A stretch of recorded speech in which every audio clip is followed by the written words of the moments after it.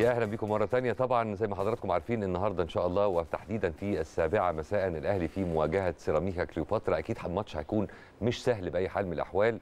الخصم مش سهل كمان. هو يعني لازم يعني نديله حقه برضو أكيد المباراة مش هتكون مباراة سهلة. الطرفين أكيد عايزين الثلاث نقاط. الأهلي بطبيعة الحال عايز يحافظ على الصدارة وبرضه بطبيعة الحال الفريق المنافس عايز يعدل من نتائجه الغير جيدة حتى الآن. خلينا نسميها كده. فعايزين نفتح بقى مع حضراتكم ملف هذا اللقاء ونتكلم عنه بشكل مفصل وتوقعات الماتش ده هيكون عامل إزاي مع كابتن أحمد عبد الفتاح نجم النادي الأهلي السابق. يا صباح الفل على حضرتك وأهلا بيك معانا. صباح الخير يا كريم وصباح. الخير على مشاهدي قناة الأهلي وجماهير كل سنة. وحضرتك طيب وإن شاء الله السنة الجديدة سنة خير عليك وعلى أهل بيتك وحبايبك كلهم يا إن رب شاء الله. كل سنة وأنتم طيبين جميعا. ربنا يخليك. طيب نبتدي بماتش النهارده ولا نبتدي بآخر ثلاث ماتشات اللي كان فيهم عدد اتنين تعادل وعدد واحد فوز جه يعني في في, في الوقت القاتل زي ما بيقولوا نبتدي بالتعادلات اللي حصلت و... وعايزين حضرتك كمان تقف لنا شوية عند رؤيتك لماتش سموحة بصفة خاصة بعيدا كمان عن فاركو و... و... و... وفيوتشر والله المباراة م- يعني آه، بعد المباراة خدت صدى كبير جدا آه، وكلام كتير جدا بالنسبة لل لمحبي ومعاشق النادي الأهلي والناس آه، في ناس زعلانة كتير جدا جدا من أداء النادي الأهلي. بس إحنا لو رجعنا كده الشريط المباراة اللي مش الأهلي وسموحة لا المباراة اللي الأهلي مع مدير فني زي كابتن طارق العشر. كابتن العشر ليه أسلوب معين في طريقة اللعب. يعني أي فرقة بتلعبه بيجي يلعب النادي الأهلي ويلعب يلعب نادي الزمالك بالذات. وافتكر كده أول مباراة في الدوري برضو كانت مع الزمالك وعمل مباراة بنفس الأسلوب وخسر في, في وقت صغير يعني. لكن هو كابتن طارق ليه أسلوب لعب معين. تحس إن أنت بتلعبه كفرقة عايزة تكسب تحس إنك أنت بتزهق ساعات في أوقات من وقت من الأوقات. آه، وإحنا شفنا المباراة كان فيها آه، لغط كبير جدا وليها فيها أسلوب لعب غريب شوية من لعيب سموحة. آه، مش هقول اثرت جدل كبير الحقيقة أكيد في آه موضوع تضييع الوقت طبعا موضوع وال... ال- وال... والدفاع ال- العجيب. الدفاع المستميت كله آه. بيلعب من أول دقيقة في نص الملعب. فده أسلوب لعب معين هو جاي كابتن طارق عارف بيلعب النادي الأهلي. عارف عايز ياخد point point من النادي الأهلي في الفترة دي أكيد مكسب بالنسبة لسموحة. أكيد. آه، فبيشتغل بأسلوب معين عشان يطلع بالمكسب. هو بالنسبة له النقطة دي مكسب. اللي هو تكنيك اخنق بالظبط. آه في الم- في المقابل النادي الأهلي بيلعب آه، game آه، من أول دقيقة عايز ياخد 3 point زي آه، معظم مباراته اللي اللي فاتت. لكن مش كل المباريات هتبقى سهلة. إحنا برضو لازم يكون عندنا آه، الناس لما تيجي تتفرج لازم تفهم إن مش كل المباريات تبقى سهلة. أكيد. مش كل المباريات في الدوري مفيش فرقة بتكسب كل الماتشات. فلازم يكون عندنا آه، صبر شوية ولازم يكون عندنا الدوري طويل. بس هو القلق آه، من خسارتين للدوري الموسم اللي فات واللي قبليه ده عامل قلق شوية. فأي أي أد... آه، نتيجة أو أي أداء آه، لعيبة النادي الأهلي بيبقى فيه آه، هدوء شوية أو في آه، تراخي ال- القلق الجمهور ده. مفيد ولا مضر في الحالة اللي إحنا فيها دي يعني ممكن القلق ده ينتج عنه حافز ودافع قوي جدا للعيبة ولا ممكن ياخد من تركيزهم لا لا الفترة دي محتاجة قلق ومحتاجة إن أنت مش هقول نضغط على عشان اللعيبة هيولد إحساس آه بالمسؤولية لازم يعني. تحسس آه لازم من, من الوقت للآخر تفوق آه آه. الفرقة وتعرفهم إحنا إيه ووضعنا إيه والناس مستنية مننا إيه وداخلين على بطولات إيه وعايزين من البطولات دي إيه. آه النادي الأهلي على طول محطوط تحت ضغط لعيبته محطوطة تحت ضغط. طب. ضغط جماهيري بالنسبة لجماهيره اللي, اللي اللي وضغط عاشقه ليه. تلاحم مباريات بالظبط. وعنده بطولة بيخلص بطولة بيخش على بطولة. إحنا داخلين خلاص اهو بنحضر عشان نروح البطولة المحببة بالنسبة لنا هي كأس العالم للأندية اللي هي بتبقى أنا شايف إن بتبقى مكافأة لعيبة النادي الأهلي مم. في المشوار الأفريقي اللي هو بيأديه. آه لكن إحنا برضو عندنا حافز تاني آه البطولة المحببة بالنسبة لنا الدوري العام اللي هي غايبة عن آه القلعة الحمراء بقى لها موسمين ودي م- ما بتحصلش غير كل مواسم طويلة جدا. فاللعيبة محطوطة تحت ضغط في موضوع الدوري العام. ممكن جماهير النادي الأهلي تقبل خسارة أي بطولة إلا بطولة الدوري العام السنة دي. طبعا. فهي دي المشكلة اللي لعيبة النادي الأهلي محطوطة. وده عجيب على فكرة ويعني الموضوع ده من قديم الأزل. أكيد. يعني ممكن بنتكلم على مشاركة الأهلي في كأس العالم للأندية. تلاقي جماهير برضو إيه الدوري إيه نظامه. بالظبط هو دي. فاهم إزاي بيشارك في دوري أبطال أفريقيا؟ الدوري إيه نظامه؟ لأنك أنت لأن هي برضه هنرجع نقطة مهمة جدا إنك أنت بتنافس فيها المنافس التقليدي بتاعك نادي الزمالك. فهي دي البطولة اللي بتلعب اللي بتلعب فيها. في بطولة. أفريقيا آه بيبقى معاك بس أنت اللي بتكمل. ساعة نادي الزمالك بيخرج من الأدوار آه، المجموعات انت اللي بتكمل فعشان كده لو لو نادي الزمالك كمل في بطولة أفريقيا هتلاقي البطولة تاخد طابع خاص طبعا هتبقى شكل مختلف زي الدوري العام دايما أي ماتش للأهلي والزمالك هو بطولة ف- مستقلة في حد هو. ده طول من ساعة ما اتولدنا والمواسم والناس. اللي قبلينا وده هي خلاص كرة في مصر آه، التنافس القوي. بين النادي الأهلي والزمالك وده طبيعي وده اللي إحنا مستنيينه الفترة الجاية إن شاء الله في تفوق بالنسبة للنادي الأهلي إن شاء الله. إن شاء الله. طيب هل آه، يعني شايف إن دوافع الفريقين على اختلافها ممكن تخلي الماتش النهارده ماتش مفتوح وفيه هجوم متبادل ولا بالعكس ماتش مقفول وخصوصا من قبل سيراميكا كليوباترا بص سيراميكا عنده مشكلة كبيرة جدا خسارة المباراة اللي فاتت من الاتحاد و آه، وأنا شايف بالنسبة لسيراميكا وال, وال والطموح اللي هم كانوا عاملينه بداية الموسم في استقطاب اولا جهاز فني على أعلى مستوى. كابتن أحمد سامي والجهاز الفني ومعاه كابتن أحمد ناجي طبعا آه، تاريخ كبير في حراسة المرمى وتدريب حراسة المرمى. وأحمد سامي برضو آه، أحمد سامي من جيل النادي الأهلي من جيلي وكان لعيب في النادي الأهلي هنا من اللعيبة والمدربين اللي ليهم طموح إن هو الفترة الجاية يبقى في حتة كويسة. وطبعا في سيراميكا طبعا حتة كويسة. بداية الدوري واستقطاب مجموعة من اللاعبين على أعلى مستوى إن هو يجيب أحمد ياسر ريان آه، جين أبوكا مع محمد إبراهيم. لو كلمنا في كل خط من الخطوط آه، مح- محمد بسام حارس المرمى جابوه من نادي الجيش كل خط من الخطوط عنده لعيب واثنين وثلاثه لعيبة مميزين جدا. الطموح ما جاش على قد النتائج ما جاتش على قد الطموح اللي هم بس ده ده طبيعي إنك أنت بتكون جايب مجموعة من اللعيبه جديدة وبتدخلهم في وسط الفرقة بتاخد وقت شوية. لكن هم كان عندهم طموح السنة دي ولسه طبعا الدوري لسه طويل عايزين يخشوا المربع الذهبي آه، لكن النتائج مش جاية معاهم. النهارده بيلعب النادي الأهلي. آه، طبعا بالنسبة له آه، أي فرقة بتلعب النادي الأهلي المباراة بالنسبة له اولا ممتعة لأن النادي الأهلي بيلعب game مفتوح. وهو كابتن أحمد من المدربين اللي بيشتغلوا game مفتوح يعني مش مم. زي كابتن مش زي كابتن العشري بيشتغل game مقفول وعايز ياخد. point لا الراجل كابتن أحمد سامي بيلعب game مفتوح بيفكر في المكسب وده بان لما كان مسك فرقة سموحة فترة من الفترات وكان بيلعب النادي الأهلي ونادي الزمالك وبيلعب game مفتوح وكل الفرق مم. فده ده فكر مدرب فكابتن أحمد سامي عنده الفكر ده فهتلاقي المباراة حلوة مباراة مفتوحة كل اللي بيفكر في, في الثلاثه point لكن هو خسارة الثلاثه point اللي فاتت من الاتحاد وأنا شايف النادي الاهلي خساره آه، اتنين point في مباراة آه،. سموحة. هتلاقي المباراة النهارده فيها حافز وطموح إن كل الفرقة بتلعب على ثلاثة point من أول دقيقة. آه غير كده حاجة تانية طبعا في طموح تاني لمجموعه من اللعيبة آه اللي مثلا زي أحمد ياسر ريان آه كان لعيب في النادي الأهلي عايز يثبت إن هو كان آه، يتمنى إن هو يكون متواجد في النادي الأهلي. فهتلاقي هتلاقي مباراة صعبة. آه جدا المباراة دي. بس أتمنى إن شاء الله النادي الأهلي يصالح جماهيره بالنسبة لأن إحنا برضو الناس زعلت كتير من المباراة اللي فاتت. فأتمنى إن المباراة دي تكون مصالحة للجماهير وتكون بداية للانتصارات جاية إن شاء الله الفترة الجاية. مستر كولر بقى ورؤية حضرتك لكيفيه تعامله مع اللعيبة فنيا ونفسيا كمان قبل فنيا؟ آه، شايف انعكاسات وجوده حتى هذه اللحظة آه، عاملة إزاي؟ بص مستر كولر تحس إن هو هادي شوية.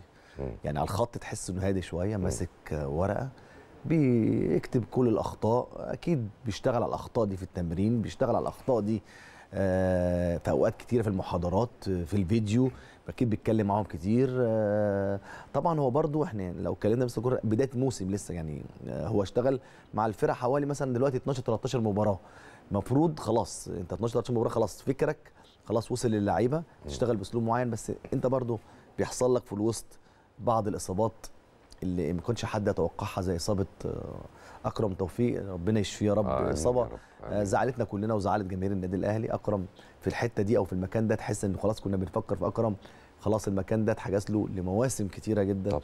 بس نتمنى له الشفاء إن شاء الله هو ويرجع. دايما الحقيقة. أكرم طول عمره بيبقى مالي مكانه ومالي. مركزه بالمعنى الحرفي آه، للكلمة. أتمنى إن هو تكون آه، يرجع بسرعة. إن شاء الله. آه وتكون الإصابة دي يعني ما تاخدش من وقت كتير إن شاء الله ويرجع. آه عندنا برضو طاهر محمد طاهر مش موجود. من. اللعيبة برضو اللي بدأت الموسم بداية جيدة جدا. صحيح. وبرضو أكيد آه عدم وجوده أنا شايف آه مؤثر في أداء النادي الأهلي. النهارده إصابة أحمد عبد القادر برضو مش موجود في تشكيل النادي الأهلي. مم. فمن مباراة لأخرى بتفقد لعيب أو اتنين. وكلهم مهمين مهمين جدا. أكيد أكيد. طبعا. طبعا في ناس بتخش في ناس مستواها بيعلى تبدا تدخلها زي حسين الشحات. آه، اللي بدأ يخش في الصورة بدأ انت بتدخله بديل ساعات بيبدأ المباراة. وكان إيه اللي خرجه. من الصورة أصلا. حسين الشحات لعيب هايل. أكيد طبعا بس آه، لازم برضو نشيد بكريم فؤاد لما مستر كولر لعبه في الحتة اللي قدام دي فخدت مكانه فحجز مكانه في الحتة دي فترة. كريم فهو اللي بياخد اللي بيلعب وبيثبت نفسه فخلاص بيكمل شوية لغاية ما يجي دور آه، اللعيب التاني يحصل إصابة يحصل آه، إنذارات. يحصل لعيبة تبعد عن مستواها شوية فده الطبيعي في الكورة يعني هو بعيدا عن الإصابات لو جينا عند تفصيلة ال rotation يعني لو افترضنا إن مفيش. إصابات وفي. rotation بيحصل أكيد مش لو أنا بلعب في مركز معين وحضرتك بتلعب في نفس المركز اليوم اللي حضرتك تنزل تعمل فيه ماتش رائع ده يخليني أنا كمان عندي حمية أكيد. وحافز إن. أنا لما تجيلي فرصة المشاركة أنزل أكل النجيل بالمعنى الحرفي ما طبعا ما هل ده بيحصل ده التنافس أي حد التنافس أي حد آه، أنا كلاعب عايز أبقى رقم واحد في الفرقة وهو المدير الفني بيحط كل مكان بيحط رقم واحد ورقم اثنين رقم بيجيب بداية الموسم. بيبقى ورقة كده في كل مكان عندي رقم واحد كذا رقم اثنين بي بي بيترتب. دلوقتي رقم واحد بيلعب آه، آه، ماشي ومتفوق والدنيا ماشية معاه آه، رقم اثنين هيستنى شوية ممكن ينزل كبديل هيحصل أي مشكلة رقم اثنين هيركب في دي في كل المراكز وأي مدير فني بيشتغل بنفس الأسلوب ده, ده الطبيعي بالظبط. كده أي. مدير فني بيشتغل بنفس الأسلوب ساعات بقى مع كت... مع كتر الماتشات أو البطولات أنت بتخش فيها النادي الأهلي ساعات بيلعب دوري عام آه، ساعات كاس مصر ساعات بطولة افريقيا. هو ده اللي بيحصل فيه rotation بقى لازم يكون عندك مجموعة من اللاعبين. اولا البديل لازم يكون على على قد 90% من زي اللاعب المس... طبعاً، اللي هو الأساسي. ده دي الفرقه الكبيرة دي الفرقه اللي بتلعب على منافسة ودي الفرق اللي التغيير بالنسبة لها في التشكيل ما يأثرش زي الفرق اللي هي المفروض في نص الجدول أو تحت. ما عندوش ال 25 لعيب بنفس المستوى. لا وإحنا كمان عندنا إحنا عباره عندنا. بتحمل الكل مسؤولية شديدة الحقيقة أكيد طبعاً. عبارة أو جملة الاهلي بمن حضر بالظبط يبقى من يحضر ده بقى لازم يكون يعني لازم يكون جاهز. اولا لازم يكون جاهز نفسيا لازم يكون جاهز بدنيا مش عايزين نحس في وقت من الأوقات إن اللاعب البديل اللي بينزل لا تحس إن هو لا أقل آه. ده بعيد ده أصل هو ما بياخدش ماتشات. إحنا مش عايز عايزين نشيل النغمة دي السنة دي عشان ما نديش أي أعذار في وقت من الأوقات لأي خسارة أو أي تعادل لا قدر الله عايزين نمشي اولا إحنا متربعين على القمة دلوقتي الحمد لله أيوة. الأول. لازم عشان تفضل. تفضل كده أو تحافظ على المركز الأول ده محتاجة شغل كتير جدا. مع محتاجة دوافع على طول تتجدد. محتاجة كلام كتير بالنسبة لل- للجانب الإداري بالنسبة لكابتن سيد عبد الحفيظ. لازم على طول مع اللعيبة ويحسسهم إحنا إحنا فين وإحنا هنوصل لإيه وإحنا عايزين إيه السنة دي. مهمة جدا. آه، طبعا مجلس إدارة النادي الأهلي أكيد كابتن الخطيب السنة دي مع مجلس الإدارة أكيد كل ال- السيناريوهات دي حصلت في المواسم السابقة وال وال والإخفاقات اللي حصلت فأكيد كل الحاجات دي قدامهم فأكيد على طول مع اللعيبة وعلى طول آه، من أي إخفاق على طول بيفوقوا اللعيبة. لا إحنا خلي بالكم إحنا مش عايزين نوصل للسنة اللي فاتت. خلي بالكم إحنا مش عايزين نوصل للسنة اللي فاتت. فأتمنى إن شاء الله إن في تفوق الفترة الجاية إن شاء الله يا رب إن شاء الله. آه، برضو عايز أقف مع حضرتك عند تفصيلة كده. آه، فكرة ان ان إن إن آخر ثلاث ماتشات بصفة خاصة اللي هو سموحة وفاركو وفيوتشر آه، اتنين تعادل وواحد فوز آه، ده خلى بعض جماهير النادي الأهلي تبقى قلقانة شوية من كواليتي مشاركة النادي الأهلي في النسخة القادمة من كأس العالم للأندية. يعني قال لك كنا حابين نشوف أداء يطمنا على مشاركتنا في كأس العالم.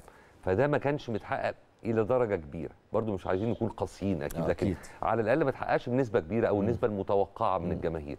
حضرتك شايف التفصيلة دي إلى أي درجة هي مطمئنة أو تدعو للقلق لا بص آه، النادي الاهلي النادي الأهلي في بطولة كأس العالم للأندية موضوع تاني وجو تاني وشعور اللعيب نفسه بيلعب في بطولة زي دي مع فرق كبيرة ده الموضوع التركيز بيعلى لدرجة 100% ما هو عشان انت بتلعب مع فرق كبيره يعني في ناس تقول لك إيه ما معناها يعني. طبعا اللي أنا هقوله ده ما أقصدش بيه أي إساءة يعني أكيد كل طبعاً. التقدير كل والاحترام لكل الأندية الفرق المنافسه طبعا أكيد. بس انت مثلا لو عندك تحفظات على لقائك مع فيوتشر أو مع فاركو مثلا تاني كل الاحترام والتقدير ليهم بطبيعة الحال. أمال هتعمل إيه مع مثلا آه، ريال مدريد لو ما أنا بقول لك ما هو ده ده, صدفتك الأخضر ده, بماتش ده. تر تركيز اللاعب المصري. اللاعب المصري لو بياخد كل الأمور الفرق كلها ملوش دعوة بيلاعب مين والتركيز كله بيبقى 100% أقول لك okay لكن اللاعب المصري على حسب هو بيلاعب مين النهارده. انتقائي يعني؟ آه على حسب لاعب مين النهارده. النهارده مثلا أنا بلاعب فيوتشر طبعا فرقة كبيرة جدا على طبعا فكرة. طبعا طبعا. المباراه كانت أنا شايف المباراة كانت سهلة في طرد لعيب من. فيوتشر مم. والمباراة كانت سهلة والدنيا كانت ماشية. لكن آه، بعض الطريق اللي بيحصل إنك أنت ضامن المباراة ده برضه طبيعة اللاعب المصري في وقت من الأوقات. هي الطبيعة دي غير قابلة للتغيير في التفصيلة دي بصفة خاصة. أنا بص دي دي دي بيبقى يعني دي آفة موجودة آفة معانا عبر بالظبط. أجيال. آه، كلمة حلوة آفة على على على مواسم طبعاً، طويلة وعلى طبع اللعيب المصري إن هو لما بيلاعب فرقة على المستوى من وجهة نظره إن هي أقل منه شوية فهتلاقي التركيز مش 100% لكن لما بيروح في كأس العالم للأندية بيلاعب وعارف الناس كلها بتتفرج على كأس العالم للأندية الناس كلها الأنظار كلها بتتجه لهذه البطولة بتلاعب فرق كبيرة التركيز بيوصل ل 100% هي دي مشكلة اللاعب المصري لكن توقعاتك إيه بقى بالمناسبة؟ يعني فيما يتعلق بمشاركة النادي الأهلي في النسخة دي من كأس العالم للأندية إن شاء الله بإذن الله بص النادي الأهلي على طول ما شاء الله في كل المشاركات معظمها بنتكلم في 80 90% بيقدم مباراة جيدة جدا وبيأدي مباراة على أعلى مستوى حفاظك على المركز الثالث المرة اللي فاتت ثالث العالم آه،. مرتين ورا بعض دي حاجة.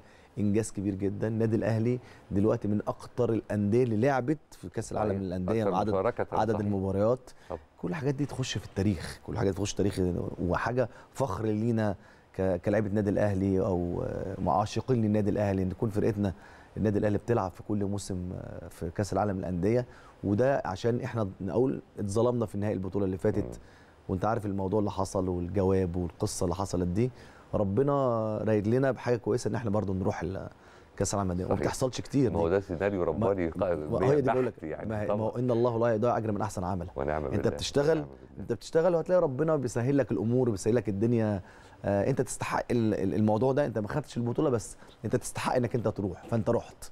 فدي حاجة ما بتحصلش خالص في صحيح، ناس صحيح. في ناس بتاخد بطولة أفريقيا والبطولة بتتلغي بالظبط كده بالظبط عشان كده بقول لك هو سيناريو رباني بحت عشان النية بيضة برضه يا كابتن خلي بالك النية بيضة وحمراء وزي آه الفل. الحمد لله فان شاء الله كده تبقى بطولة حلوة يا رب. وت- والناس تستمتع النادي الأهلي تملي بالبطوله دي بالذات الناس بتستمتع. وتتبسط وتبقى حاجة حلوة قوي من فترات طويلة من ساعة ما البطولة اتعملت النادي الأهلي بيعمل البطولة دي على أعلى مستوى يعني فأتمنى إن شاء الله تبقى بطولة كويسة ولعبت من. خلالها مع أندية كبيرة كده بايرن ميونخ برشلونة. وجهاز يعني حاجة حاجة طبعا. حاجة بتبقى مبسوطة بالنسبة للاعيب كمان ال- لاعب النادي الأهلي بالنسبة له بيبقى مستنى الفرح ده ومستنى أكيد، ال- أكيد. الاحتفال ده فهو أكيد بيبقى تركيزه رايح آه، 100% كله بيبقى على فكرة نقطة مهمة جدا لازم نفكر فيها في المباراة اللي فاتت إصابة أكرم توفيق قلقت بعض اللعيبة. آه، طبعا آه، آه، أنت كلاعب كورة عايز تلعب بطولة زي دي الآن طبعا. سبحان الله الإصابة دي قدر من الله آه لكن كل لعيب بيقعد يفكر فيها لو كنت جات الإصابة دي أنا خايف آه، فهتلاقي في قلق شوية. القلق ده هيخليك في بعض ال- الكورة المشتركه أو في بعض ال- في اللعب تبقى متحفظ في قلقان. تدخلات الآن آه. الآن. لأن الموضوع لسه قريب. الموضوع لسه طبعاً. الموضوع لما ياخد طبعاً. وقت شوية خلاص يتنسي فتلاقي اللعيب طبعا. يرجع تاني لطبيعته. فأتمنى إن شاء الله الموضوع يتنسي واكرم يرجع لنا بالسلامة إن شاء الله. يا رب إن شاء الله. تعالى يا كابتن أحمد بعد إذنك نعمل مقارنة كده بين الفترة اللي حضرتك شخصيا كنت بتلعب فيها في النادي الأهلي وبين الفترة الحالية. مش هقول لك بين الجيل والجيل لكن هنقول الفترة دي بالمقارنة بالفترة دي. إيه المستجدات اللطيفة في رأيك اللي كنت تتمنى إن هي كانت تبقى موجودة في الوقت اللي أنت بتلعب فيه؟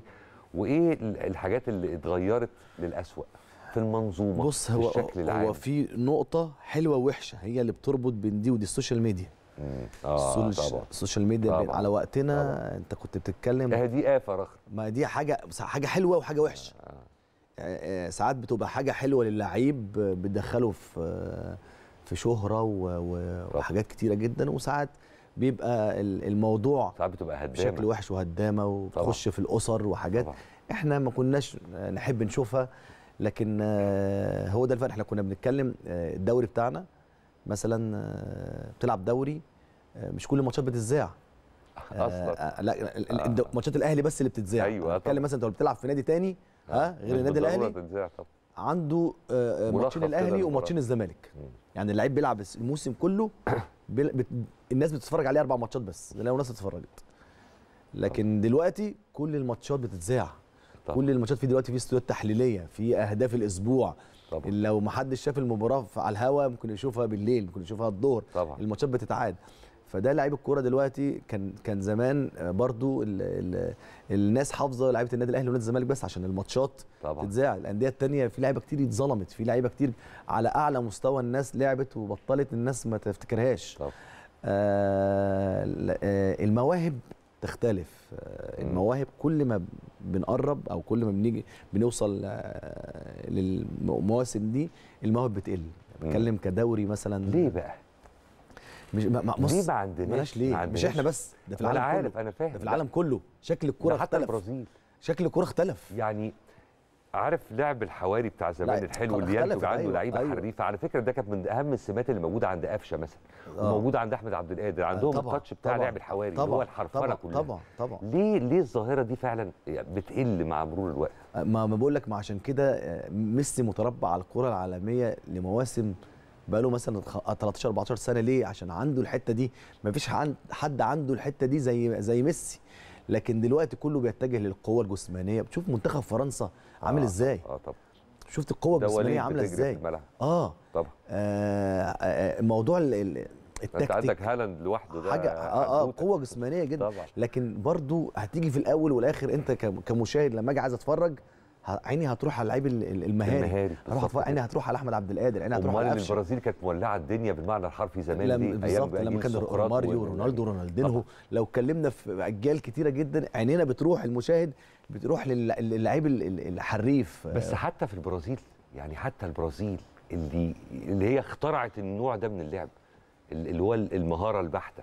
برضو ال- الكم مش كبير بص اللعيبة. إحنا إحنا الحياة بقى قلت بركتها مش هتكلم على الكورة بس تصدق فعلا. على هنتكلم كل على. هنتكلم على الطرب مثلا الأغاني أيوه فين أم كلثوم فين عبد الحليم فين آه طبعا كتير بقى محرم طبعا. فؤاد فيه وفي كتير دلوقتي لما تيجي تتكلم برضه هتلاقي واحد أو اتنين آه طبعا لكن. لكن كل المواهب في التمثيل هتلاقي المواهب قلت في جميع المجالات ما تعرفش بقى سبب الحياة اختلفت الناس مع إن. مقومات تطوير وتنمية قوي أي موهبة. بقت أكتر بكتير من زمان بالظبط كده يعني أنت دلوقتي عندك ممكن سهل قوي تطور يعني دلوقتي عارف عارف زي إيه مع الفرق مع فرق الأمثلة طبعا. يعني كان زمان الواحد عشان يحصل على معلومة بيتعب عشان يوصل لها ويروح مكتبة ويطلع مجلدات و... وقواميس إلى آخره دلوقتي. بدوسه زرار الإجابة على أي سؤال أخش بالك على. جوجل ومع حاجة. ذلك الثقافة قلت مليون مرة. بالظبط. الناس خلاص بقت كل حاجة سهلة. كل حاجة سهلة. فالناس آه، ما عندهاش مش عايز تتعب. كنت تحب إن كان الوقت اللي بتلعب فيه كان يبقى فيه social media ولا كنت تخاف إن يبقى فيها سوشيال ميديا ما أنا بقول لك الحاجتين. بص يعني لا طبعا فيها فيها فيها حاجات حلوة. يعني فيها حاجات حلوة كتير لكن آه، التريقة والتقطيع وخش على الأسر ونتكلم على آه طبعا. في بيحصل مشاكل آه، للعيب معين حتى مثلا. اخلاقيا مش صح. آه, آه طبعا. آه ابنه أو مراته أو طبعا. تشوف أي كلام مش حلو في حقه ده في الآخر ده لعيب كورة. آه لو عايز تقول كلمة في حقه وكلمة حلوة لو عايز تنتقده آه انتقده في حتة الكورة ما تنتقدوش طبعا. في أي حاجة تانية. فدي حاجة تزعل يعني. ف... هل فكرك يا كابتن ممكن يجي علينا يوم من الأيام نكون لسه مخلصين متابعة لكأس عالم ايا كانت السنة اللي هنتلعب فيه. ونرجع مرة تانية نتفرج على الدوري المحلي بتاعنا من غير ما نحس بغربة. آه بص أنا يعني معظم وقتي بقضيه مع ليا صديق اسمه داكر عبد الله كان لعيب كورة معايا في النادي الأهلي. أوكي. آه كان بيلعب معايا من عندنا 14 15 سنة ده صديق العمر يعني. ما شاء الله. آه بنقعد نتفرج طبعا على كأس عالم و... و... و... وبنتابع كأس العالم و... و... وإزاي اللهفة وأنت بتتفرج و... وهي مش كوره بس. طبعا ده انت عينك آه، مستريحة في كل حاجة بتشوفها. تصوير طبعا. كل حاجة طبعا كل حاجة. طبعا. آه فبعد ما نخلص خلصنا بقى ودخلنا بقى على الدوري العام. نيجي نتفرج على الدوري العام. تحس إن إحنا قعدتنا مع بعض. يعني إيه؟ الدوري العام ده زي الفيلم. بص تتفرج كده لقطة ها بصة وخلاص بقى تخش تتكلم في مواضيع وكذا كذا تاني. أما تسمع المذيع آه مش عارف تقدر تبص تاني. لكن في كأس في كأس العالم ما كنتش ما- ما تقدر بتلفتش تقدرش طبعا. آه، طبعا. هو ده الفرق. ممكن نوصل للمرحلة دي في يوم من الأيام. إن الدوري المصري يبقى زي كأس على العالم. الدوري بتاعنا آه الدوري المصري طب نقول الدوري المصري زي مثلا الدوري الأسباني زي الدوري الإنجليزي. نقارنه كده طب هل بدوري؟ في إسبانيا يا جماعة لما بيخلصوا متابعة منتخبهم اللي مشارك في كأس العالم لا لا ويرجعوا للدوري بيحسوا. بغربة؟ لا لا نفس المتعه طيب. نفس المتعه على نفس يعني المية. تكون واحدة ده عايز نفس مستوى اللعيبة ونفس التركيز ونفس ال- الاحترافية. آه. الاحترافية الاحترافية ك- ك- كلاعب كمنظومة كلها. كلاعب كتدريب ك ك كصورة للمشاهد طبعا. كتحليل آه حاجات كتيرة جدا آه ناقصانا. بس أتمنى إحنا برضو مش عايزين آه نبقى عندنا من اليأس. نتمنى إن شاء الله في المستقبل إن إحنا نقدر نوصل قريب من الحتة دي إن على شاء الله. فكرة ده إحنا كلامنا ده مش من باب تكس- تكسير المقاديف قد ما هو من باب طبعاً. بالعكس خلق حافز. وبعدين إحنا عندنا مقومات تسمح بكده إحنا عندنا quality لعيبة زي الفل. أكيد عندنا بس quality- ما تفهمش إيه اللي, إيه اللي يعني طب إحنا بالمناسبه إيه اللي ناقصنا عشان نوصل للي إحنا بنتكلم فيه ده والله يا كريم في حاجات آه، نتكلم الأول من أول قطاع الناشئين ودي نقطة مهمة جدا آه، كت أنا أنا بستغرب دلوقتي إن آه، في حاجة اسمها الأندية الاستثماري آه يعني- الأكاديميات والحاجات دي آه لأ آه. الأكاديميات أوكي ممكن تشتغل في الأكاديميات في فترة من العمر دي. مهمة جدا أوروبا كلها. شغالة. فيها من السن الصغير إنك أنت تبدأ اللعيب تبدأ تعلمه أساسيات الكورة وده طبيعي في كل العالم لكن تيجي في وقت معين عندك 13 14 سنة أندية دلوقتي عشان آه، الحتة المادية في آه، أولاد مستواهم في الكورة قليل جدا. بيخشوا نادي استثماري يقول لك الفرقة دي تحت 14 سنة نادي استثماري يخش الدوري يدفع فلوس ها عشان أبقى لعيب في ال- في الفرقة دي. وباخد مكان ولد إمكانياته المادية ضعيفة جدا بس ده معاه فلوس عشان يلعب دوري. فبتلاقي لعيبة كتير جدا مستواهم المادي ضعيف. أيوه. ما لهمش مكان. ومش قادرين ما لهمش طب- مكان. طب. فدي دي حاجة غريبة جدا.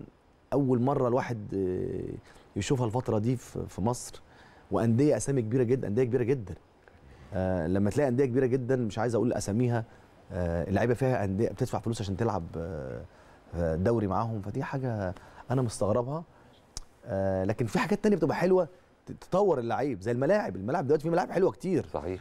آه دي صحيح. حاجة دي على أيامنا على إحنا فكرة عندنا بنية تحتية رياضية استثنائية في الفترة آه دي ده على فكرة طبعاً. على أيامنا الموضوع كان صعب جدا أكيد. الملاعب كانت صعبة جدا يعني في وقت من الأوقات واستادات كبيرة جدا يعني مثلا استاد المصري بورسعيد استاد آه، آه، في ملاعب كانت صعبة جدا تلعب فيها دلوقتي في ملاعب من أحلى الملاعب تلعب فيها زي ملعب السويس برج العرب. عليها كان في ملاعب صعبه قوي بس كان في لعيبة آه. جامدين ما قوي هي دي. للأمانة. ما. سبحان الله يعني إيه اللعيبة دي اليومين دول لو موجودة في الملعب دي مش هتعرف تلعب خالص. طبعا. ولو اللعيبة المهارية دي كانت موجودة في في ال- في الملاعب دي كنت شفت حاجة جامدة جدا. أكيد أكيد. بنشكر حضرتك جزيل الشكر نورتني النهارده في حلقتنا وإن شاء الله نشوفك على خير قريب وسنة جديدة سعيدة عليك يا رب إن شاء الله. يا رب كل سنه وأنتم طيبين وإن شاء الله النهارده نبارك للنادي الأهلي يا رب. ونروح على البطولة وإحنا شاء الله كده نفسيه اللعيبه كويسة واتفرجنا على بطولة كويسة إن شاء الله. باذن الرحمن بإذن الرحمن. طيب خلونا نطلع فاصل سريع. يا حضرات ونرجع بقى عشان نستقبلكم في ثالث وآخر فقراتنا الحوارية. خليكم معانا.